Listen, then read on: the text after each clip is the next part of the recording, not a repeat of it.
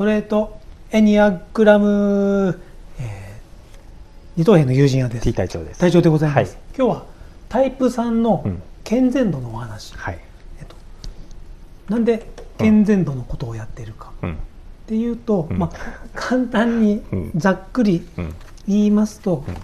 今日はこの性格タイプの分析、うん。ドン・リチャード・リソさん、うん。お世話になってます。から お世話になってます。お世話になってます、はいまあ、健全度を知ることで、うん。あすいません。健全度っていうのは何かっていうと、うん。9段階あって、うん。それぞれここをうん。ぐるぐるぐるぐるうん。行ったり来たりしながらうん。気持ちがいい時はま、通この辺ですよね通常ぐらいのところをうん。上下して、いい時があれば上がって上がって。感じのいい人になって、うん。ストレスが溜まった時は下がって、うん。負の行動に出るみたいなところなんですけども、大体とらわれがエスカレートする感じですよね。下がれば下の方に行くくと、で性格のタイプうん。を、まあ、知ることで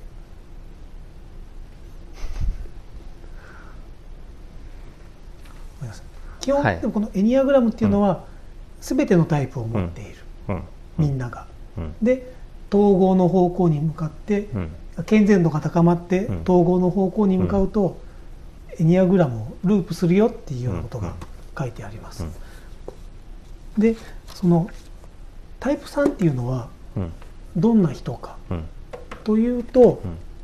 こちら9つの性格タイプ、うん。ティム・マクリーンさん高岡よし子さん、うん。はい、お世話になってます。はい。いろんな人に。タイプ3どんな人かというと、えー達成する人うん。なんて言われる人で、うん。まあ、ビジョンを持ってうん。目的を達成し、うん。成功することで自分の価値を感じることができる、うん。で無意識に、まあうん、成功してうん。人から好印象を持たれればううんまくいくと思っている人たち、うん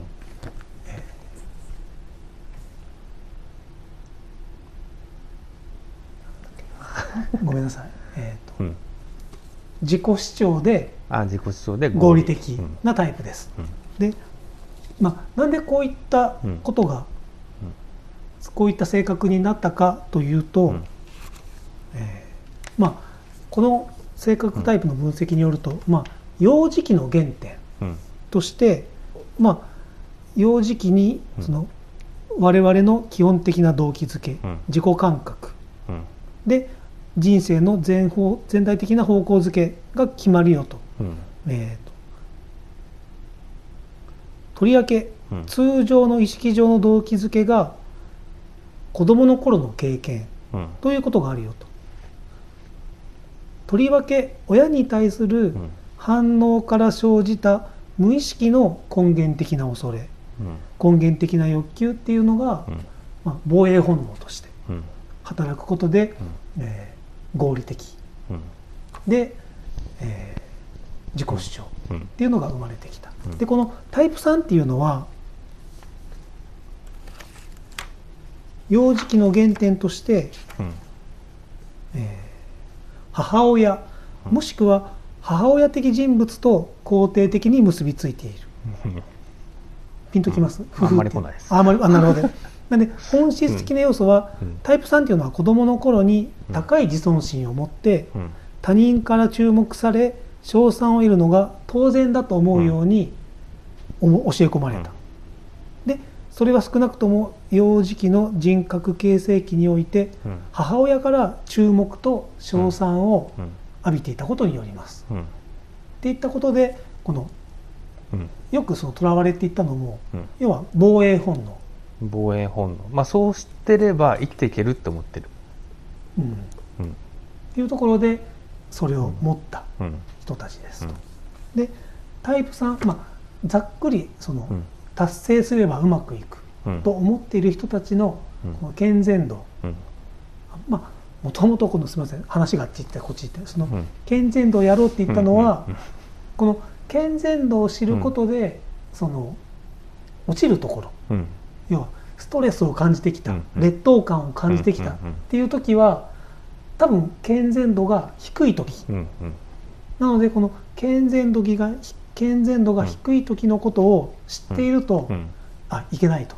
うん今私はそのストレスが溜まっていて、うん。健全度が低くなっている。低くなってるのか低くなろうとしてるのか。あそっか。そう。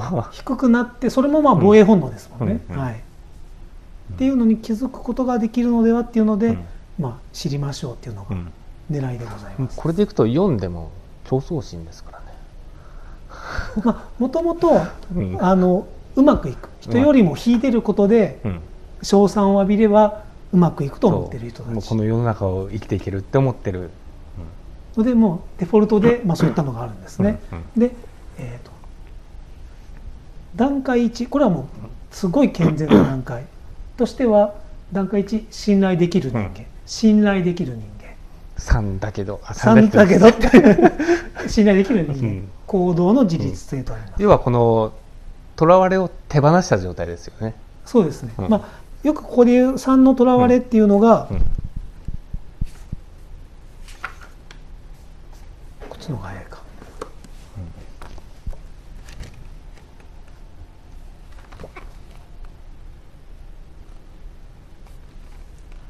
虚栄虚栄3のとらわれが虚栄ですと、うん。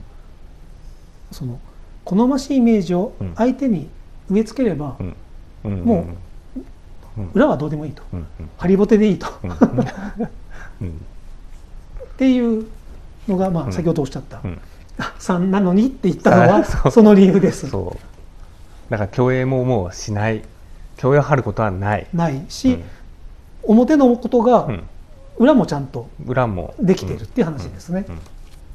見た目通りの人っていう、だからこう1とか9とかっていうのはよくもうありえないレベルだってもうそうですね。そう。なのでイエス・キリストとかお釈迦様レベルはい。うんの人がこう1とかなのでどのタイプでももうわからない。1どのタイプか。になっちゃうともうずっとこのエニアグラムのをループしている。なので全ての要素を持っちゃうぐらいの感じ、全てのタイプのいいところを持ってるぐらい。欠けたところがタイプだって言いますもんね、うんうんはい、なのでもう完璧なレベルなんで。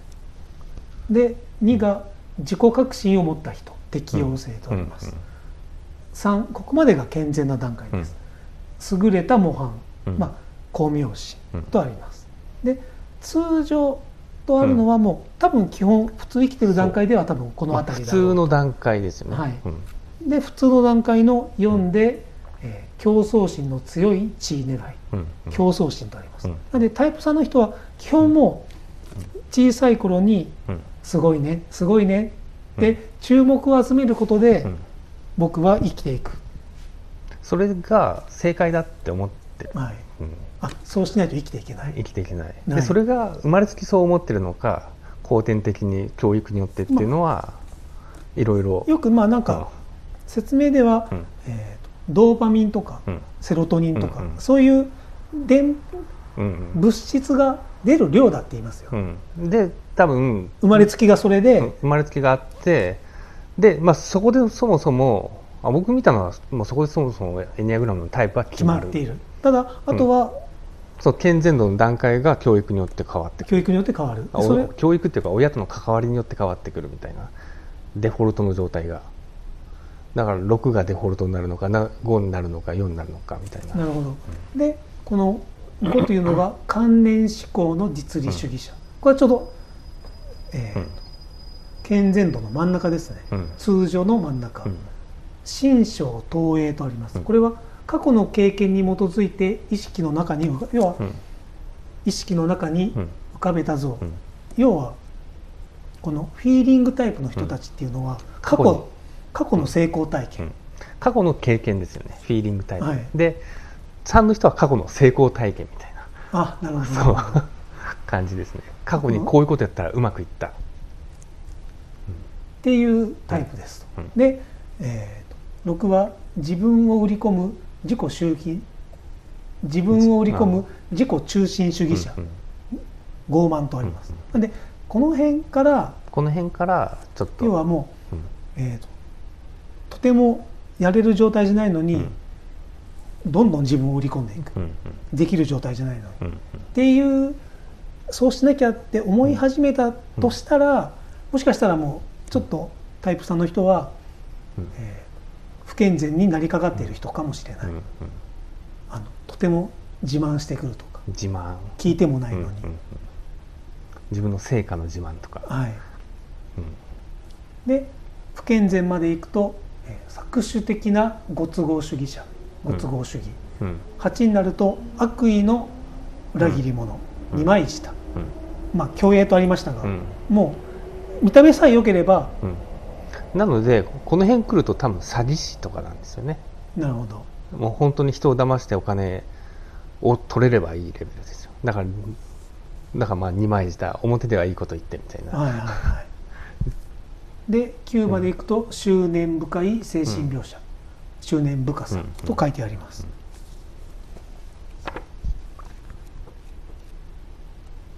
なので平気で作業できるような人は多分この辺にいる人ですよ。なるほど、ん。ただまあえーそうですね。よくよくこれ名前出すとまずいのかもし名前を出すのは？れないあの有名人。はい。まあ問題ありと思ったらカットで。あの与沢翼とかああなるほど。あのすっげえ儲かってるぞみたいな感じで人を集めてお金を搾取するみたいな。まあすそういうビジネスモデル これ言っちょっと与沢翼やめましょうか。今のえっ、とねまあうん。あ名前はカットして言うとか？よくあのうん。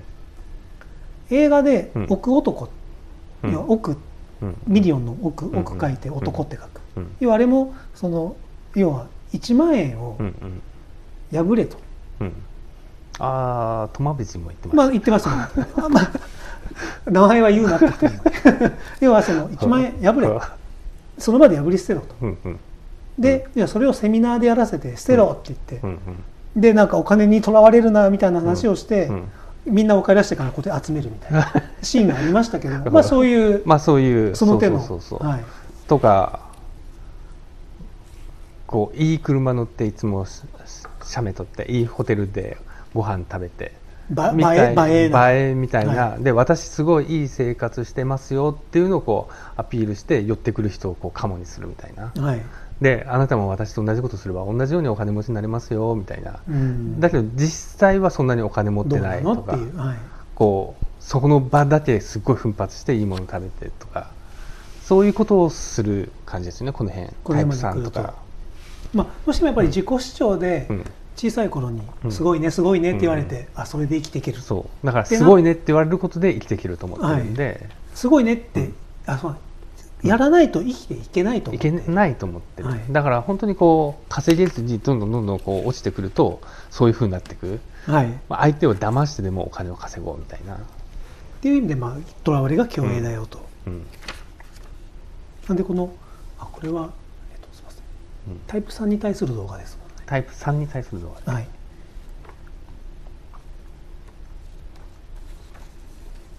だとしたらまあその、うん。何を話しましょうね。なので タイプ3、まあ、注意する点じゃないですか。こう思ってきたら注意しましょうみたいな。ああなるほど、だとするとちょっと待ってください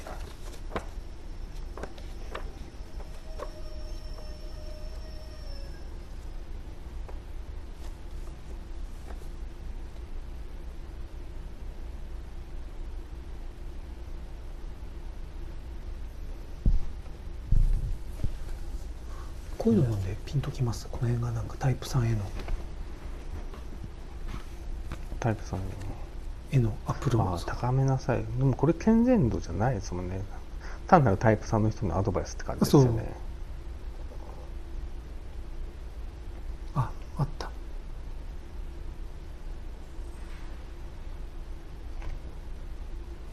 でうん。いいですか？はい。ここにあるの閉はじていいですか？えっ、と閉じていい？はい。閉じていいです。はい。すみません。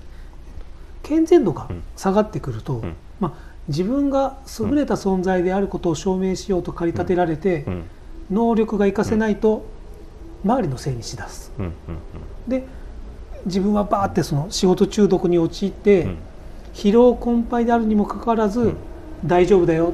うん。大丈夫だよって自分を売り込む。っうん。ていうことをやり出しますようん。と、で心身のケアがおろそかになって、うん。まあ普段それをうん。人には見られたくない、うん。努力しているところとか、うんうんかなんせかっこいい僕ですスから。マートにできしたいんですよね、はい。なのでその蓋をしていた罪悪感やうん。恥、うん。痛みっていうのが浮上して、うん。あの落ちていくうん。ことがありますと。うん。なのでその健全度が下がる時の注意信号としては、まあうん。人の関心を得ようとうん。自分を駆り立て始めた時は、うん健全度が下がっていく注意信号ですと、うん。周囲の人に認められようとしてうん。発言したり行動していないか。うん。本当がじ本当にそれを自分が感じて望んでいることは何かっていうのをうん。考えてみましょうなんて、うん。ティム・マクリーさんは言ってます。多分こうそうやってやることによって、まあ、要は自己主張自己アピールはい。でみんなの関心とかを集めてることによってこの世の中を生きていけるって思ってるので、はい。それをやるわけじゃないですか。はい。でそれをやってるんだけどなかなか関心を集められないとかなかなかそこで収益が出てこないとか、こうまあ、例えば営業マンだったら成績が全然上がらないとかってなってくるとこうだんだん下がってきてじゃあもっとアピールしなきゃいけないのかもっとやらなきゃいけないのかってどんどんエスカレートしていくあなるほど。でそれがこうだんだんだんだん人に向いていく感じですよね。どあ本当にそうですね、ごめんなさいねなのでもっともっと駆り立てよう。こうタイプ3の人と前話をしてて、はい。こう自分と向き合うのが恐怖だって。まあリラックスしはてこう自分と向き合うのが恐怖。って言ってましたよね。リラックスあリラックスしてる状態が恐怖。リラックスしてる状態と自分を見つめ直して自分のあるがままを受け入れるみたいな自分の理想があって現実があるわけじゃないですか、はい。そこをこう認めると自分はまだまだだって思うからこう自分を見つめ直すのも恐怖。リラックスして足を止めるのも恐怖だしで自分を見つめ見つめ直すのも恐怖だしっていう、うん。見ないようにして上に行こうとするん上にですかね。もう上にはい上にっていうふうにどんどんどんどん気持ちが焦るみたいな、なるほど、うん。でこう感情的なこととかってもう合理的ではないから、はいはいはい。もう仕事に没頭して忘れようとするみたいな。ああなるほど。うん。なんかいろんなものを捨ててる感じがしますね。いろんなものをこうもう必要ないものはどんどんどんどん切り捨ててこう仕事に没頭するみたいな。そうに言うと何かこっちに大切なものはないですか？っていう。そうそうそうそう、はい。なのでそういう感覚に陥った時は多分こう落ちてきてる。ああなるほど。で健全度が高い状態っていうのはそういう多分家族だとか恋人だとか、はい。友人だとかっていうところをこう目を配ってこうやれていけるんだけどこう仕事がうまくいかなくなってきたりするともうそういったところはもう仕事の邪魔だみたいな。彼女なんかいらないみたいな。感覚に陥ってどんどん仕事中毒みたいな、もうこのうん。通常の6、うんうん、っていう感じでこう落ちてく。る。でこの タイプ6タイプ3うん。の、えーと統合の方向としてはタイプ6、うん。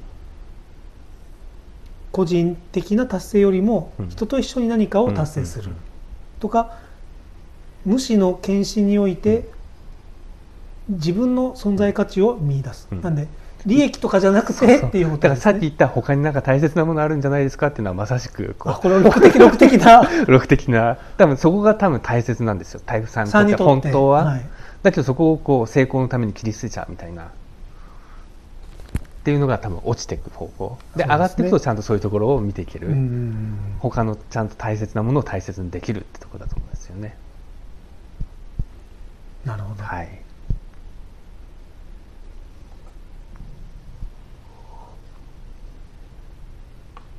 あ確かに書いてありますね、うん。だから6の言葉にいいところがあった感じですよ今 ありがとうございます。あの書いてありました。あの、うん。要は健全度が下がるにつれ、うん。身を削ってハードに働く、うん。常に上を目指して目標の達成と妨げにならないように、うん。本当の気持ちを抑えていると、うん。自分自身の心やうん。周りの人たちとのつながりが薄くなっていく、うん。で自分のタイプ3は自分の正直な気持ちを感じるのが苦手なところですと、まあバランスの欠いた状態になると心身ともに疲れ果てて、うん。急うん。空虚感うん。が高まる。うん。で恐れていた、うん。もう自分の価値がなくなっていく、うんうん。価値だって言ってるのに 自分の価値がなくなっていく。価値がなくなっていく。はい、だからそういうのを大切にした方が多分価値は上がってくると思うんですよねタイプ3的には、はい。周りの人だとかそね。その自分の感情だとか、はい、っていうのを大切にしていく6のように、6は6で大変です。まあ、6はそこにとらわれてるんで大変なん大です。はいはいはい。3はそこ切り捨てちゃってるんで。だから大変なんですね。そうはい。はい、なんでまあ自分をうんうん。売り込まなきゃって思い出したら、うんうん押してるのかもねってう。んいう、偉そうに。すいません。っはい。ていう健全度のはいお話でした、はい。ありがとうございます。ありがとうございました。チャンネル登録もよろしくお願いします。ありがとうございます